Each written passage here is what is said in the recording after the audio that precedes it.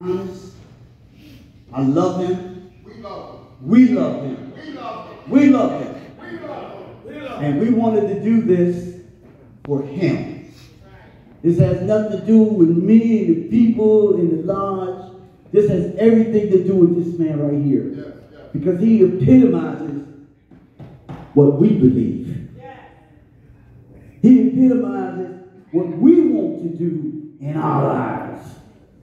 So that if God blesses us to be 90, to be 90 years old and still be sound in the mind.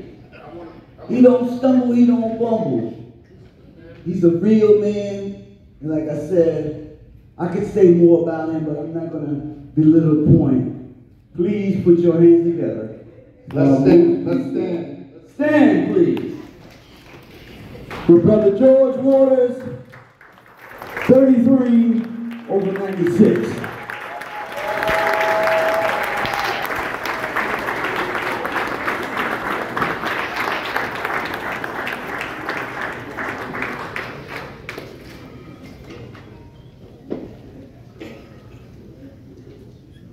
We went out and we uh we wanted to surprise him